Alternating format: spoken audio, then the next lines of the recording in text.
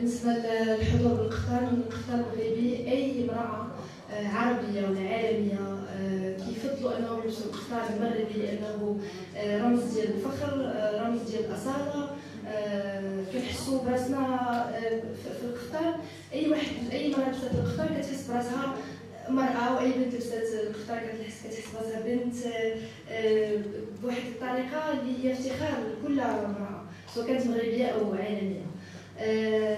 بالنسبة للأغنية الجديدة آه، أغنية ترضاك هي كلمات آه، زكريا منتقي من الحان ياسين بن فضول اللي كنشكرو بزاف. اللي هو اللي عاوني في في la direction artistique ديالي باش نجدد ابتسام تسكت باش نعطي واحد واحد ال énergie جديدة بزاف ديال الحوايج متجدده الاغنيه ديال رضاك جات في واحد الوقيتة اللي كنت كنتمنى ندير أغنية ديال الأم.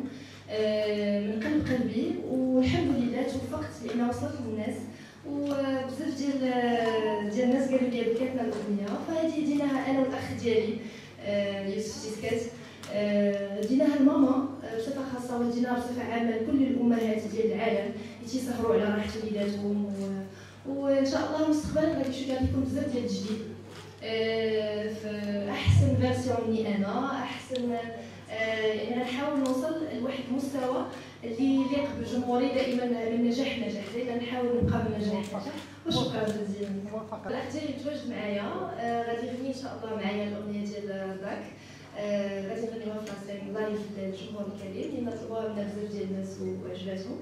الشعور ديالو آه، هو صراحة ماشي ساهل باش تطلع اول أول سين ديالك تكون هي مهرجان الموازين العالمي. شي حاجة اللي ماشي سهله أكيد في stress في الاضطراب وكيحاول حتى هو ان شاء الله يقدم بزاف ديال ديال الأعمال غيكونوا زوينين حتى هو باش يشق طريقه ونتمنى ليه ربي كل التوفيق ونشكركم دائما على تشجيعكم المستوى المستمر للفنانين كاملين بالنسبة للفيلم السينمائي بنت الفقيه إن شاء الله قريبا غادي يخرج للنور آه يعني ماشي آه تقريبا آه نقولوا فوق فوق شهر شهرين كاع maximum إن شاء الله. نتمنى يكون في جميع القاعات السينمائية المغربيه آه، هو من إخراج حميد زيان الحكاية بخلاصه أو بعجاله باش آه، ندوزو سؤال آه، غادي يكون إن شاء الله واحد الدور اللي هو ديال واحد البنت في البادية اللي كتحاول تشق طريقها وتولي فنانة مضرمه وكتحاول تمشي من البادية للمدينة. وكتلقى صعوبات في البادية اللي ما كتعرفش تخرج أصلا.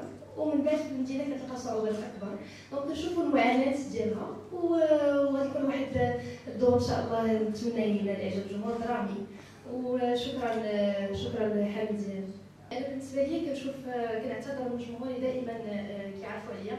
أنني كنعتذر منهم دائما لحقاش كنبغي فاش يكون عندي الأعمال نقدمهم الحياة اليومية وهذا كنقول سمحوا لي صعيب يعني كل واحد وال lifestyle ديالو. كنحس براسي كنبغي نشارك معاهم الأعمال الفنية نشارك معاهم هما عائلتي الثانية كنبغي نشارك معاهم شي حويجات ولكن أنا العيب فيا. أنا ما تنقدرش نكون متواجده بشكل يومي يعني في ال social media. آه كنعتذر منهم. نتمنى إن شاء الله مستقبلا غادي نحاول آه ال maximum باش نتواجد معكم آه يعني أكثر مدة ممكنة. نبارطاجي معكم بزاف د الحوايج. déjà غيكونوا بزاف ديال الأعمال جاية إن شاء الله. غادي يكون برنامج حافل بإذن الله. ونتمنى نكون يا ربي عند حسن ظنهم دائما. حنحاول. بالنسبة ليا دائما كنقولها هذه خديتها قاعدة في حياتي. آه، أنني هو كيعجبوني بجوج. يعني التمثيل مجال التمثيل والغناء. عندي بجوجهم آه، عندي حب ليهم بجوج ولكن تنقول فاش يجيني سيناريو أفضل من من أغنية آه، غنختار السيناريو اللي احسن من الأغنية. جاتني أغنية أحسن مثلا في العرض فيه أغنية عجبتني وقصدني أحسن من السيناريو.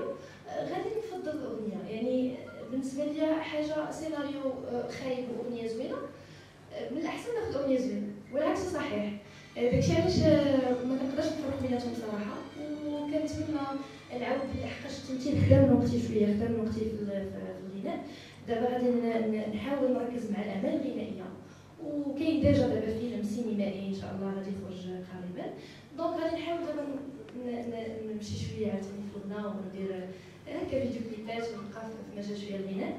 ومن بعد إن شاء الله تنتي ما فيهم بجوج لا تنسوا الاشتراك في قناة الأيام 24 وتفعيل خاصية الجرس ليصلكم كل جديد.